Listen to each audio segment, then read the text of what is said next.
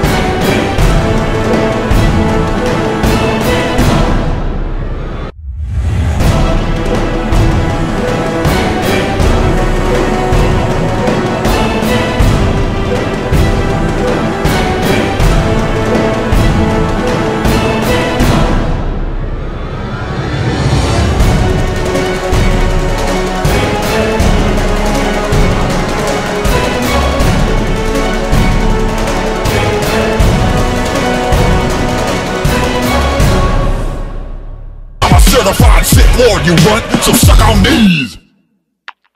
Uh, these what, sir? These robot nuts. You can't touch this.